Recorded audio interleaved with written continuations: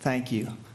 Um, Good afternoon. Um, My name is Scott Fowler. I'm the president and CEO of Holston Medical Group.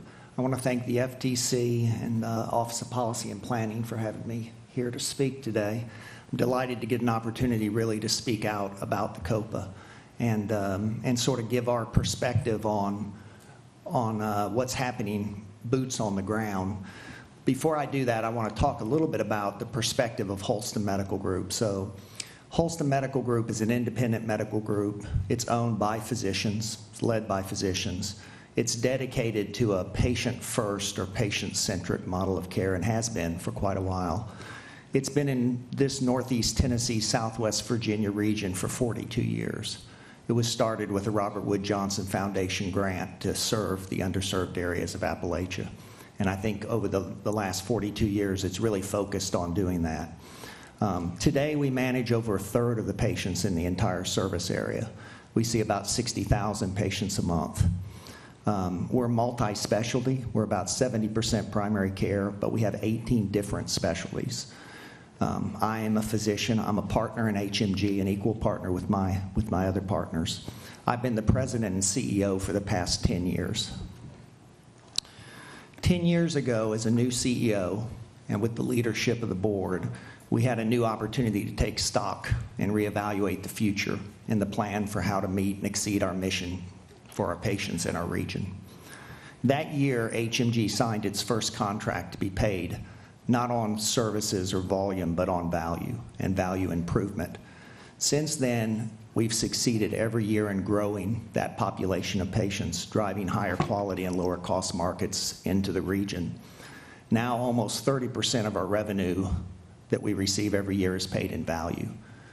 HMG wouldn't even be here and couldn't survive on the fee for service that's paid in our region without these value based payments, which are paid on a risk contract and are paid based on how well we perform in terms of both cost control for our patients, but mostly for outcomes.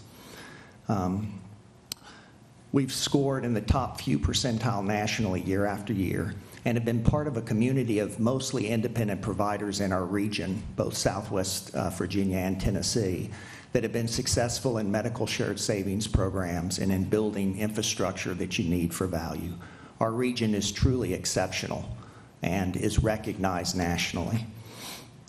So, what did we see 10 years ago when we did our analysis and when I started as COO, which we still see today? It's often said that every system is perfectly designed to get the results that it gets. And what we saw was a healthcare system in the United States that was built around volume and pricing and was centralized around services in very high cost centers, hub and spoke systems that brought patients into the highest priced parts, usually a hospital system. Healthcare was, at that time, extremely costly in our region and, and across the United States. And in fact, the United States government had made a clear indication that it would bankrupt uh, the pricing, the payment systems that we had. Much of what we saw was there was a radical difference between inpatient and outpatient pricing, and that the major, the major uh, hospital systems in a region could demand much higher pricing that it could then pass on to raise pricing in other settings. Um, we knew at the time that much of the care that used to be in the hospital, so when the hospitals first developed, it's where you went for IVs, it's where you went for antibiotics. You couldn't afford to have three MRI machines, so you had it at the hospital. It was a place you could keep open 24 7, and it wasn't that as pricey, as pricey as it is now. Most technology and specialties have advanced now so that most things can be done outpatient. And so the ability to sort of keep those things inside a price, a high pricing model is part of the problem that we saw had to be fixed. Per capita spending on healthcare is estimated to be 200% greater in the United States than in other economically developed countries. The number one reason people give for bankruptcy is that they can't pay their medical bills. And that's true in Appalachia, Tennessee, as it is anywhere else. Um, despite these high costs, the indicators of quality in the areas were low, and traditional models of care were not really affecting that. So we saw that the system as it was was fragmenting care, that it could be made better, and we set out on a 10 year quest to do that. A hub and spoke model bankrupts the rural hospitals and takes services out of the areas where they should be given locally. Uh, it overestimates the value of providers that are in high specialty centers over the need to have providers that are out in more rural areas. It sometimes underestimates the need for acute care facilities, which need to be very, very close to the people that need them, and wants to centralize that into a hub out of economies and efficiency. So we recommend, we recognize the need for change to empower the system to move from fee for service to fee for value. And we recognized it meant the system, the structure of the system, not the behavior of the system. The structure of the system had to change. One of the things that we did early on was we decided we needed a common medical record for all our patients. We needed to know where our patients were in the system, and we knew our patients wanted us to know that. Did you go to the urgent care? Were you in the hospital? And so the physicians, the independent physicians, invested and, um, and sponsored basically a health information exchange in our region, which had failed previously under other grant models and sponsorship. Currently, in our health information exchange that we have in the region, we have 80 to 90% of all the data in the region. If you want to know what the data in the region is, you can come to us if you have permission to see this kind of data, and we can tell you what the admissions to the hospitals are because we get those in our, in our data system. If a patient's admitted to the emergency room at our hospital, one out of four of those patients have data in this system within the prior seven days. It may be data that they had a CT scan or they saw their doctor. It's very valuable data. And we use it every day in our value based contracting, but the ER physicians at the hospital don't have it, and the hospital hasn't adopted it. Instead of using a system sponsored by the community, as, fa- as a matter of fact, that since the COPA, they've now decided that they're going to spend hundreds of millions of dollars to build a hospital centric health information system, which may make our system less functional and less compatible with the value things that we desire to, to accomplish. We presented a letter in November of 2016 to the Department of Health after the COPA application was filed in ten- Tennessee, which basically said what's in the application is not strong enough. Not that we're against it or that we think there aren't good things that can come out of it, but that the regulatory requirements and governance and other areas that were in here were not sufficient to make this into something that we could guarantee that the benefits would outweigh the risks. The hospital centric governance, financial, operational system proposed in the COPA were weak. The impact of the monolithic monopoly, which in this region it is the biggest employer, as you heard, it has tentacles in everything that happens in our community. It will impact the local economy, it will impact outpatient markets, it will impact the geographic distribution of services not necessarily based on where patients need them, but based on what's economically efficient for the systems. Maybe we don't need two trauma centers, but maybe we need the trauma center in Kingsport. Maybe we don't need two children's hospitals, but maybe where the children's hospital is, it needs to be looked at more carefully and not just on financial grounds.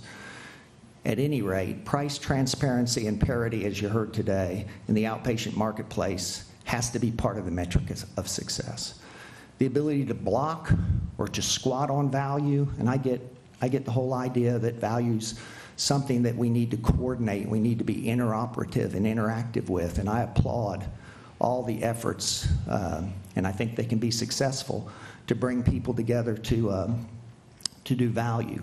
But we know that historically the financial interests of a company drive its behavior.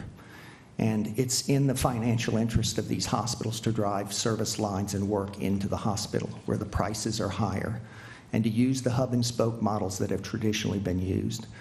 CMS, in its final rule this year on Medicare shared savings program, specifically noted that hospitals were forming ACOs that were actually blocking the access for patients to get into ACOs that were doing value because by building those ACOs, those patients would be, not be attributed to another model. Um, we were skeptical, to say the least, and did not think the application would meet the standard. As an attorney, I went to uh, law school before I went to medical school, but as an attorney, the clear and convincing standard seemed overwhelming to me, and we just didn't think that it would happen. So, what's happened since the COPA impacting patient care rushing changes, having things happen too quick. Uh, Of all the models that I saw up here today, the one at Phoebe Putney reminded me of what I'm seeing on the ground, which is a lot of confusion in an effort to coordinate between a, a, a business and the, and the government, rapid changes on the ground which impact patients. So let me give you just a couple of examples. Shortly after the COPA, we had about 10 outpatient, outpatient surgical rooms that were operating in town. Those were places that you could take your patients as an alternative to surgery in the hospital. Shortly after the COPA, all of the beds were closed. The center that we were owners in was dissolved against our objections, and when we offered to buy the center so that we could continue the care, that was refused. As a result of that, Bristol went without an open surgery center for quite a few months. Now, eventually, will that get fixed? Yes. Did it need to happen? No, it didn't need to happen. Um, it created bad care and bad experiences, and, and um, it was dissolved where there was another opportunity. So we think that it was probably done in order to help them control the outpatient marketplaces. We have a lot of information that that may be part of what was done. Uh, in Kingsport, the same model will limit rooms, will allow the closure of one of the surgery centers there, and will bring other players into the marketplace, possibly with higher priced national contracts. CON law adjustments in the COPA will eventually, hopefully, fix this. We were able to go and get a CON. The hospital was not allowed to object to the CON, which was in keeping with the COPA, and I applaud the fact that we were able to get that CON. But it won't be open for a year. So between now and then, it won't be. In the meantime, the hospital, uh, outpatient ambulatory surgery center that is there is being restructured to put restrictive covenants on the doctors that are owners there so that if they leave, they can't be owners in other centers. This type of behavior is perhaps predictable, but is not the kind of behavior you expect from people who are trying to do the right thing. Um, the connection to the HIE in Knoxville, the plan to build a, separate HIE, and the HIE in Knoxville won't connect to our HIE. The threatened and the confirmed, I guess, loss of the NICU and the trauma center in Kingsport, bad for patients. It's bad for the geographic region. It will affect the economies in Kingsport. There is a lot of discussion about whether it would have been much better to just sell to an outside system. There's widespread confusion. It could have been avoided. Uh, in summary, let me just say um, I think our skepticism has perhaps turned to some opposition, but I want to be careful to say that it's in specific areas. I do think the COPA has the potential benefit to the community if it can be regulated and monitored, just like we said in our original. And although what I've heard today makes me even more concerned uh, that it's a bad idea, um, I do think that there are certain areas um, I think we have to recognize that it maintains and empowers an old paradigm. That's a hospital centric model of care. Perhaps it's the most common paradigm in America, but it's not the future paradigm, and it's probably going the wrong direction in maintaining the status quo.